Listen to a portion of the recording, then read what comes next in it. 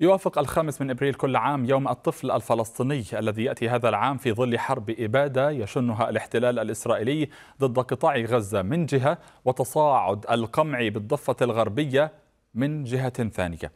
ووفق تقرير للجهاز المركزي للإحصاء الفلسطيني صدر أمس الخميس أن الاحتلال قتل منذ بدء عدوانه ما يزيد على 14350 طفلا أي حوالي أربعة أطفال كل ساعة ليشكلوا ما يقرب من 44% من إجمالي عدد شهداء القطاع خلال هذه الفترة.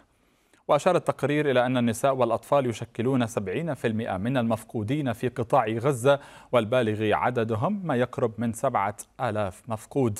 أما في الضفة الغربية فالوضع سيء. كذلك حيث قال التقرير أن 117 طفلا استشهدوا من بين 455 شهيدا منذ السبع من أكتوبر فيما جرح ما يقرب من 700 أو 724 من أصل الكثير والمئات من الجرحى منذ بدء العدوان كما تم ترحيل 710 من الأطفال من بين 1500 فلسطيني هجروا بالضفة.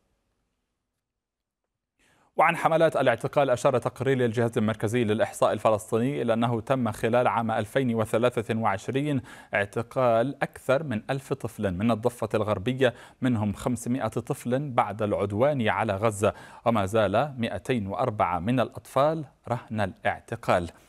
ويكشف كذلك التقرير عن أن قرابة 43349 طفلا يعيشون بدون والدين أو بدون أحدهما في قطاع غزة موضحا أن الرقم كان 26349 في عام 2020 بزيادة قياسية غير مسبوقة.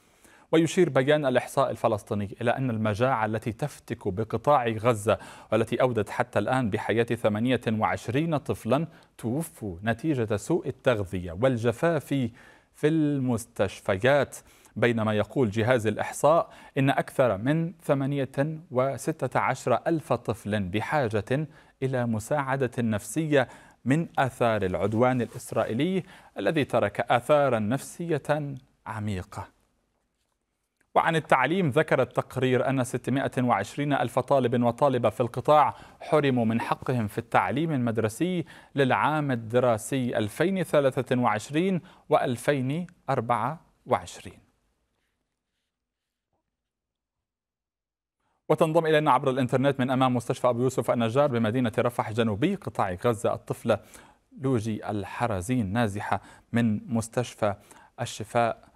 أهلا وسهلا بك وتنضم إلينا كذلك عبر الإنترنت من داخل مستشفى شهداء الأقصى أو ينضم إلينا خليل عبد العال طفل نازح من مدينة دير البلح وينضم إلينا كذلك عبر الإنترنت من الخليل الطفل أحمد جوابرة. بينما ينضم إلينا عبر ال...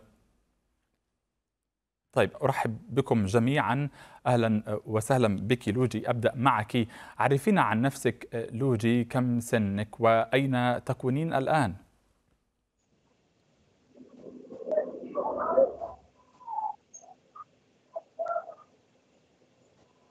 لوجي أحدثك وأنت في محيط. مستشفى أبو يوسف النجار بمدينة رفح. أهلا وسهلا بك لوجي. لو تعرفين عن نفسك وأين أنت الآن؟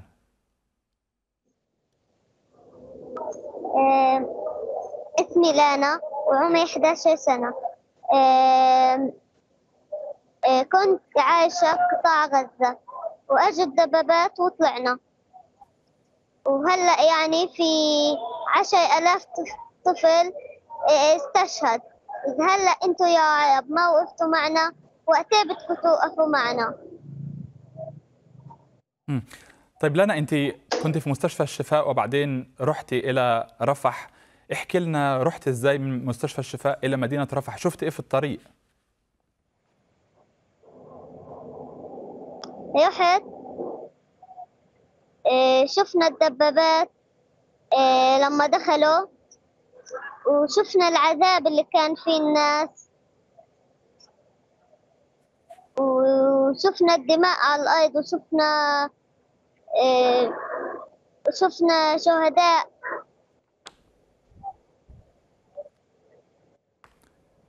طيب آه، لانا انت بقالك قد إيه في رفح آه، ضلينا ست شهور. بقالك ست شهور بق... لا يعني انت بقالك ست شهور في آه، في غزة ولكن وصلتي رفح إمتى؟ من إمتى؟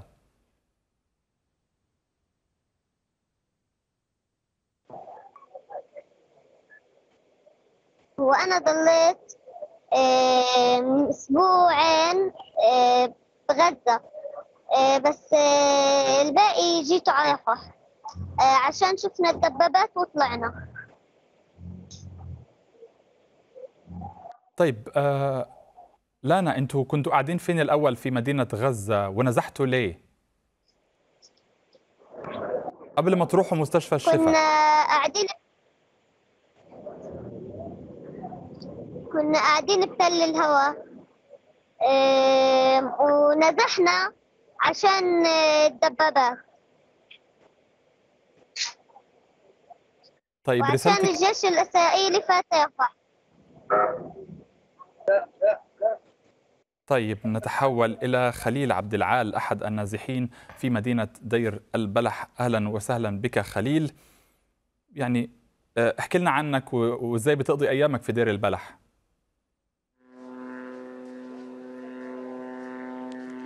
آه، أنا اسمي خليل مصطفى خليل عبد العال. نزحنا من آه، حي الصبرة في غزة.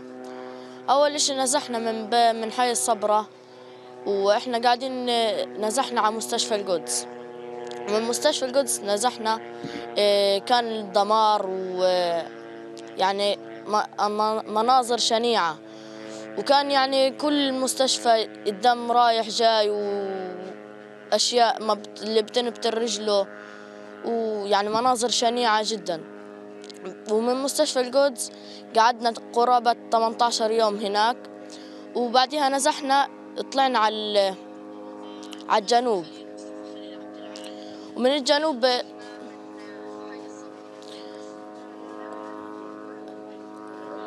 مش سامع صوت تفضل خليل أنا سامعك كمل. نزحنا من الجنوب آه، رحنا على دير البلح.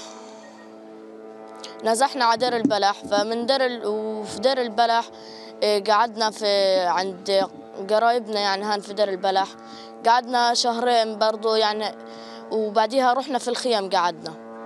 في الخيم برضو يعني زي ما انت شايف لا متواجد مياه مياه فيش مياه متواجد كافية ولا مواد غذائية.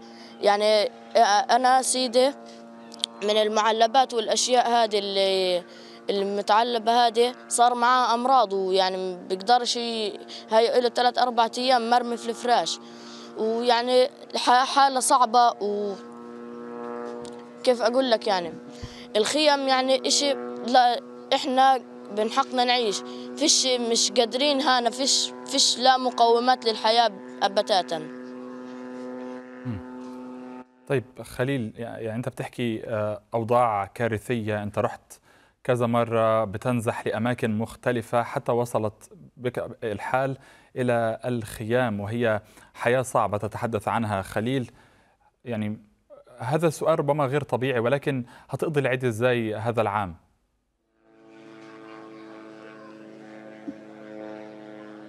والله زي زي كل الناس ما حتقضيه بدنا برضو يعني إحنا بدنا نفرح حالنا بأي إشي يعني. يعني أقول لك أطفال الأطفال هنا في غزة مكتئبين جدا. يعني لو لو لقوا أي بح- بدهم يفرحوا غصب عنهم حيفرحوا حالهم.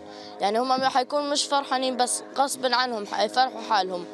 ويعني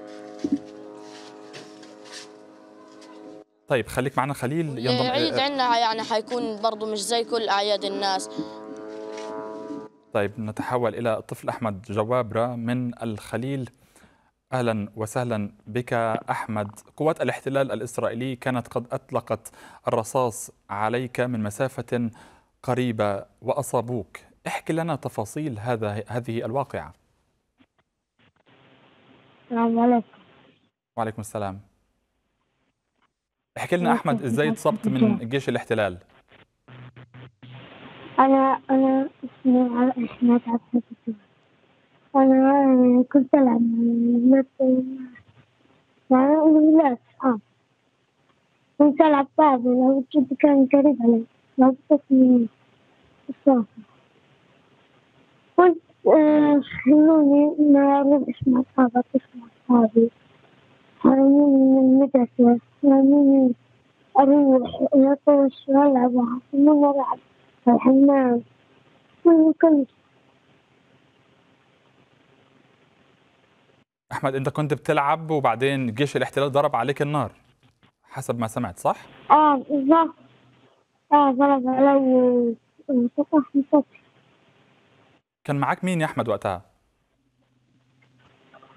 كان أصحابي آه، يعني بقيت عند باب دار سيدي مع أصحابي مع هذول كلهم. وأنت بس اللي اتصبت وقتها؟ بس إيه إصابتك يا أحمد؟ صبت في الفخذ مم. حرق حرق الأعصاب عندي. طيب أعود مرة أخرى إلى الطفلة لانا النازحة من مستشفى الشفاء وهي الآن في رفح. لانا يعني أنت زي ما سمعانا الآن معانا آه، خليل قاعد في دير البلح ومعانا أحمد جوابرة وهو طفل فلسطيني أو طفل فلسطيني من الخليل وأصابه جيش الاحتلال بطلقة في آه، فخذه إزاي إيه الرسالة اللي عايزة توجهها لهم؟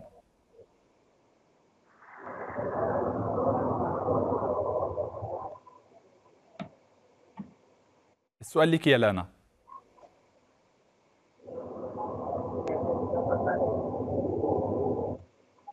لانا سمعاني؟ آه آه. آه أنا بسألك إيه الرسالة اللي عايزة تقوليها لأحمد اللي قاعد في الخليل وجيش الاحتلال ضرب عليه النار وأصابه؟ والرسالة اللي عايزة تقوليها كمان لخليل اللي قاعد في دير البلح ونزح آه، عدد مرات كتير.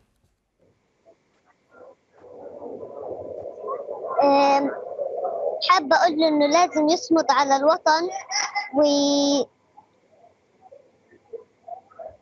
ويضلوا يعني يحب الوطن.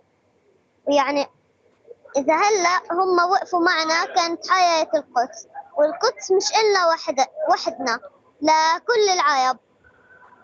وإحنا هلأ من حقنا إن نتعلم من حقنا إن نلعب من حقنا إن ندرس. وأجت الحرب وقطعت عنا كل إشي. ولانا أنت بتقضي وقتك إزاي حاليا؟ يعني بتقضي وقتك إزاي خلال اليوم في آه، النزوح؟ ب- آه، يعني صعب هلا اليوم آه، المفروض نروح نصلي بالجامع بس آه، آه، قاصفين الجوامع ومش عارفين وين نروح نصلي فبنصلي ببيوتنا وانت بتلعبي فين؟ آه، إحنا بنلعب جوا بيوتنا عشان فيش مكان نقعد نلعب فيه. طيب وإحنا تعرفتي ع- برضه من حقنا اللعب وهم وهم قطعوا عنا اللعب وقطعوا عنا كل اشي إحنا من حقوقنا إن نلعب ومن حقوقنا إن ندرس ومن حقوقنا إن نتعرف على أطفال معنا بالمدرسة. يعني إحنا هلأ كنا بغزة لسه بنلبس عشان نروح المدرسة. صارت القصف ورحنا على مستشفى الشفاء. وبعدها لما أجت الدبابات إيه، رحنا عند دار سيدو. وهلأ بالأعياد إيه، فيش يعني الأعياد مش زي الأعياد الباقية. العيد هذا إيه، يعني هيكون صعب لأنه إحنا هلأ المفروض نكون رايحين نشتري إيه، هدوم للعيد بابا يودينا المحلات نشتري شوكولاتات نروح عند تاتا نعمل كعك إيه، بس إحنا هلأ ما بنعمل كعك احتراما للشهداء طب انت فطرتي إيه اليوم يا لانا؟ أهلك فطروا إيه وانت فطرتي إيه؟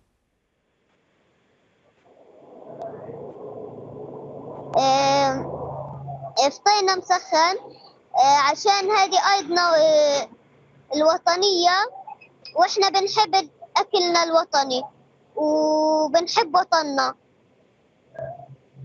ولازم نزرع بقلوبنا إن نحب الوطن و... ونحب وياثاتنا طيب آه، خليل الطفل النازح في مدينة دير البلح. آه، أوجه هذا هذا السؤال إليك. يعني زي ما سمعت من لانا هي بتحكي إن القدس بتاعتنا بتاعتنا كلنا بتاعت الفلسطينيين وبتاعت العرب والمسلمين. عايز تقول إيه في الموضوع ده؟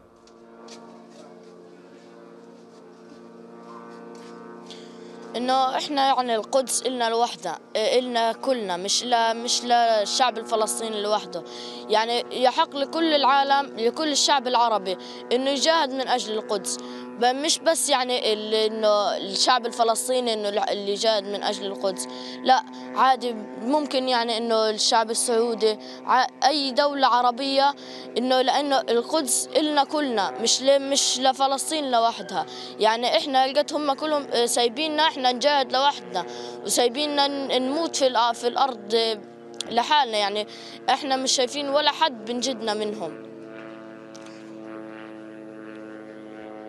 طيب آه، ينضم إلينا عبر الإنترنت من الخليل أو معنا أحمد من الخليل. أحمد جوابرة أحمد يعني زي ما سمعت من شوية أطفال فلسطينيين في غزة يعني أوضاع صعبة يا أحمد.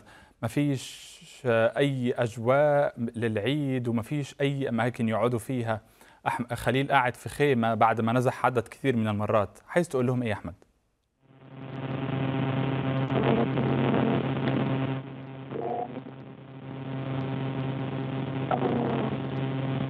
سمعك يا أحمد اتفضل.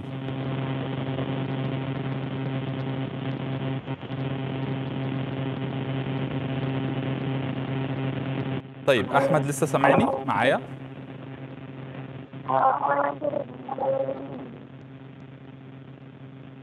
طيب يبدو أن هناك مشكلة تقنية عند أحمد. ينضم إلينا عبر الإنترنت من واشنطن لإثراء الحوار مع هؤلاء الأطفال ألكسندرا صايغ. مديرة قسم السياسات الإنسانية بمنظمة أنقذوا الأطفال. سيدة ألكسندرا معنا عدد من أطفال فلسطين أطفال من غزة وأطفال من الضفة. طفل يجلس في خيمة وطفلة أخرى نزحت عدة مرات وهي الآن في رفح وكانت في مجمع الشفاء. استمعت إليهم. ما الذي تريدين أن تقوليه لهم؟ حاوريهم يسمعونك سيدة ألكسندرا تفضلي.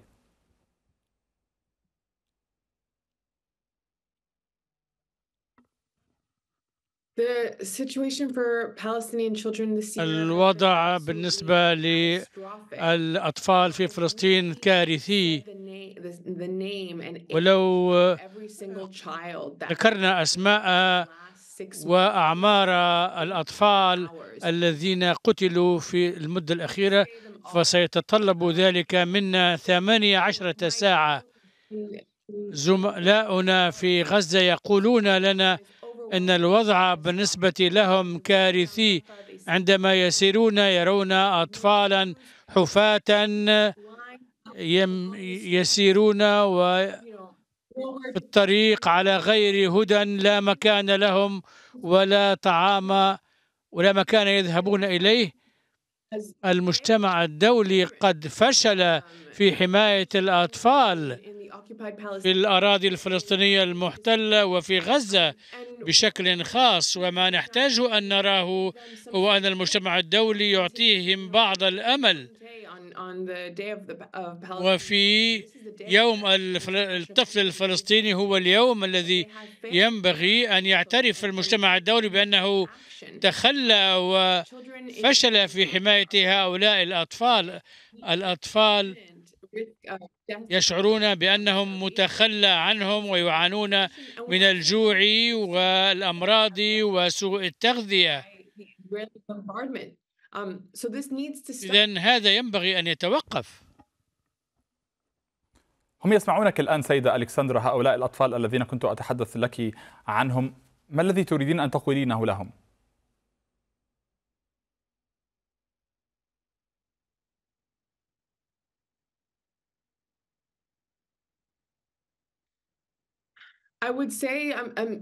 سأقول لهم إحنا أنا آسفة لأننا خذلناكم. أنتم هناك أطفال غزة عانوا الكثير إلى حد الآن.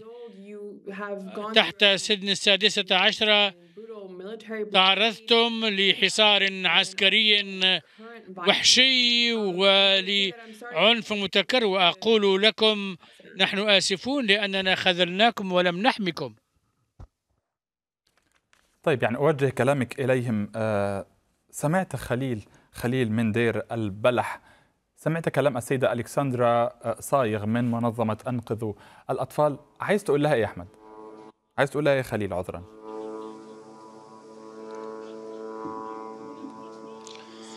إنه اعتذاركم مقبول ولكن إحنا بدنا تنقذونا إنه إحنا بدنا تنقذونا إحنا بنموت هنا في الأراضي هذه في أرض فلسطين. إحنا يعني بدنا حد ينقذنا إحنا قاعدين بنموت في الأرض ولا حدا مدور علينا. ويعني هلقتها مثلا يعني فيش لا مياه ولا ولا إشي. وبقول لهم إيه إنه الدول العربية الدول العربية وين؟ دور على أخوتها اللي إحنا فلسطين برضه دولة عربية. وين الدول العربية من عنا؟ وينهم؟ أنا بوجه كلام للدول العربية.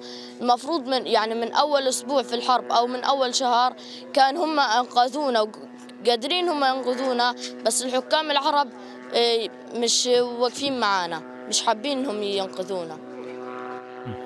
طيب آه، أعود إليك سيدة ألكسندرا مجددا.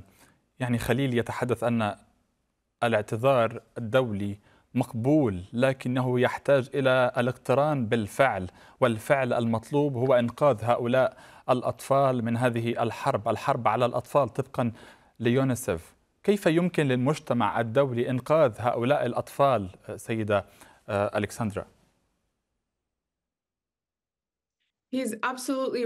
آه، ألكسندرا حق تماما المجتمع الدولي الكبار الذين يرتكبون هذه الجرائم والتسببوا في هذه الأزمة يحتاجون إلى وقف لإطلاق النار وأن من يدعمون هذه الأزمة ينبغي أن يتوقفوا عن إرسال الأسلحة إلى الجهات المتقاتلة وزملائي خاطبوا مجلس الأمن وحثوه على اتخاذ قرار بوقف إطلاق النار وأوضحوا أن أطفال غزة يموتون جوعا.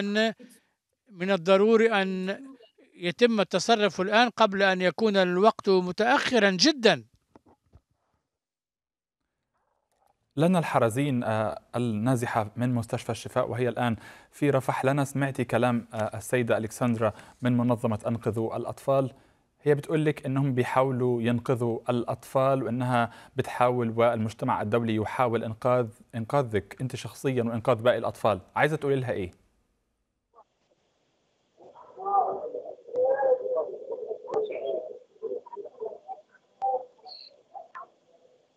هلا. هم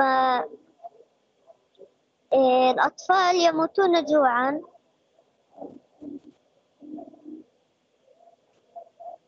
كملي يا لانا تفضلي. إيه، إن الأطفال الآن يموتون جوعا وعطشا. إيه، المفروض يكون عندهم بيت يأويهم وأم وأب يحمي يحميهم. هلأ هم ما عندهم ولا أم ولا أب ولا منزل يأويهم إيه، ولا عندهم حيامات يتغطوا فيها ولا عندهم ملابس للعيد العيد هذا مش هيكون زي الأعياد السابقة. الأعياد السابقة كانت فيها فايحة وفيها وجه ابتسامة بس الأعياد هذه كلها حزن. سيدة ألكسندرا كما سمعتي من آه، لانا ولنا بالمناسبة هي طفلة فلسطينية نازحة وهي الآن في مدينة رفح بماذا تردين عليها؟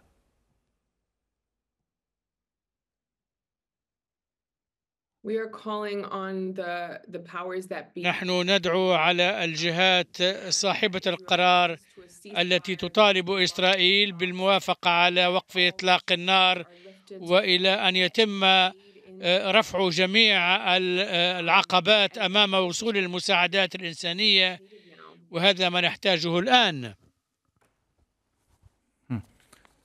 طيب آه، أحمد آه، جوابرة يعني سمعت إحنا معنا ضيفة ضيفة دولية في منظمة كبيرة.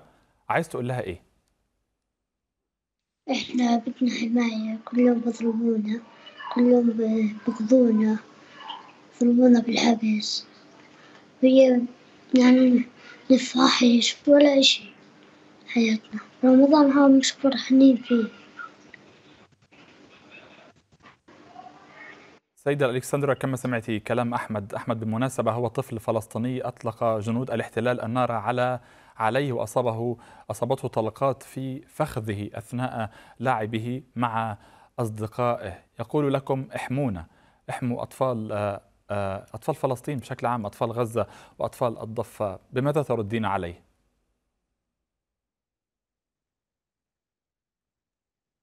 I, I would say that the, in, the international community أقول أن المجتمع الدولي ينبغي أن يستمع إلى صوته وأصوات الأطفال. وما يحتاج ما نحتاجه أن يستمع المجتمع الدولي إلى الأطفال لقد سمعنا منهم الكثير وفي مناسبات عديدة خلال الشهور الأخيرة. قد حان الوقت لأن يستمع المجتمع الدولي لما يجري على الأرض وهؤلاء الأطفال الذين هم أكثر من يعانون من هذا الوضع. طيب أعود مرة أخرى إلى خليل خليل عبد العال. خليل أنت تكتب الشعر آه، كما علمت. لو يعني احكي لنا شعر أنت كاتبه أو أنت حافظه. صحيح.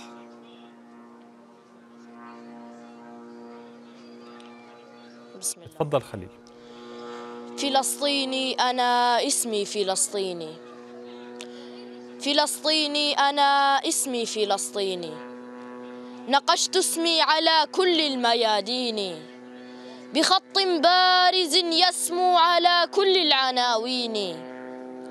حروف اسمي تلاحقني تعايشني تغاديني تدك النار في روحي وتنبض في شراييني جبال النار تعرفني مغاورها وتدريني.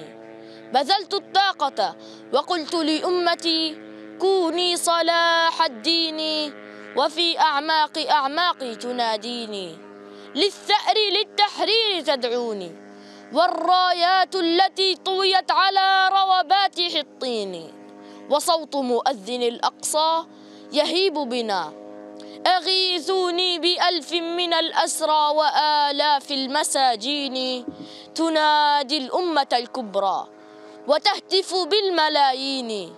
تقول لهم إلى القدس إليكم قبلة الدين. إلى حرب تدك الظلم. وتزهق روح صهيون وتهدر كلمة التي تمضي فلسطيني فلسطيني فلسطيني. شكرا لك خليل. إذا أنت حابب برضو. طيب تفضل كيف اللقاء وقد شطت بنا السبل؟ وذرفت من دم في ليلها المقل. وكيف ننسى بتلك الدار لمتنا؟ وهل بمأساتنا يحيا بنا أمل؟ مرابع الروح ما جفت شواطئها وذكريات لنا في الصدر تشتعل. يا دار يا دار فيك تركنا بعض مهجتنا. فهل للقياك يبقى عندنا أمل وتبكي أجل وتبكي الزوايا؟ فكم ضمت لنا قصصا. وفي الفناء خطا لم يمحها هطل وفي شبابك آهات مخبأة. الليل يعرفها والشمس والظلل. غصن يمد على الجدران أذرعه. مرحبا بضيوف البيت إذ وصلوا للعز قد نذرت تلك الديار فكم. في حبها شبت الأخلاق والمثل. عند الوداع عند الوداع انثنت جدرانها ألما. ودت لو احتملت في رحل من حملوا فكيف لم تزهق الأرواح حين نأت؟ وكيف لم ينفطر قلب إذ ارتحلوا؟ حتى الحجارة قد حنت لساكنها فكيف بالقلب إذ ضاقت به الحيل؟ يا صاحي لا تحسب الجدران من حجر بل أنفس في سكون الليل تبتهل. لل... لله نشكو إذا ما الشوق لله نشكو إذا ما الشوق أوجعنا. أرواحنا رحلت في إثر من رحلوا. أرواحنا رحلت في إثر من رحلوا. شكرا خليل وتعليق أخير آه، لنا أنت سمعاني صح؟ لنا الحرزين. لنا أنا عايز أسألك إيه رسالتك النهاردة للطفل الفلسطيني بمناسبة يوم الطفل؟ عايزة تقولي إيه للأطفال الفلسطينيين اللي معاكي في غزة آم،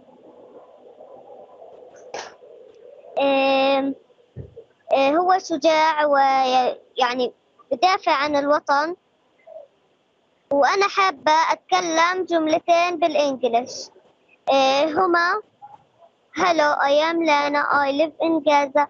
Please stop bombing us. I lost my home. I lost my dog. There no food. There no water. We wish safe life.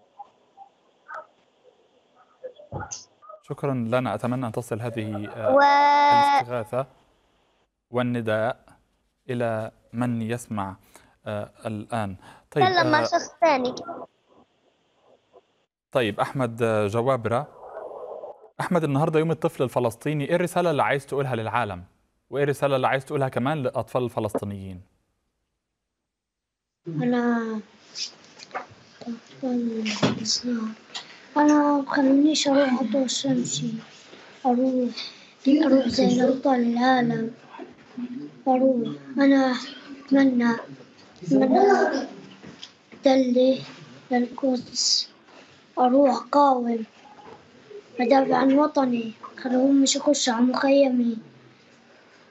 وظني ظني إن شاء الله قاوم. خلاص نفسي أصير شهيد.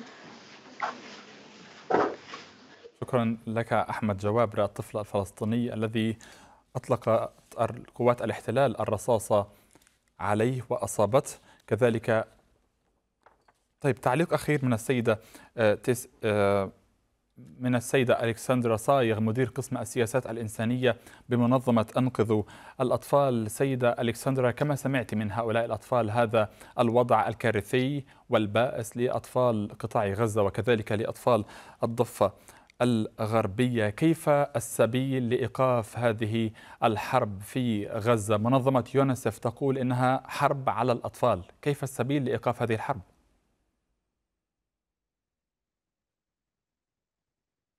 It definitely is a war against children. هي فعلا حرب على الأطفال.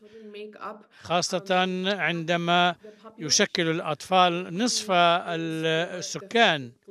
ما نحتاجه هو أن يتم التوقف عن الانتهاكات الصارخة للقانون الدولي. نحتاج إلى توافق على وقف إطلاق النار. وأن نتوقف الدول التي تمد الأطراف المتحاربة بالسلاح أن تتوقف عن ذلك. أعضاء الأمم المتحدة ينبغي أن يستخدموا جم... كل التأثير السياسي الدبلوماسي الممكن لإيقاف ما يحدث في غزة والتوافق على وقف لإطلاق النار. حتى لو حصل ذلك غدا فإنه فإن الأمر سيتطلب سنوات حتى تعود غزة لإع- يعاد بناؤها وتعود إلى ما كانت عليه. والأطفال أيضا سيظل فيهم آثار عميقة لهذه آه، طوال حياتهم مما حدث خلال هذه الشهور الستة. والمجتمع الدولي ينبغي أن يطالب بالمحاسبة والمساءلة على الجرائم التي ارتكبت في حق الأطفال في غزة. شكرا جزيلا لك سيدة ألكسندرا صايغ مديرة قسم السياسات الإنسانية بمنظمة أنقذوا الأطفال.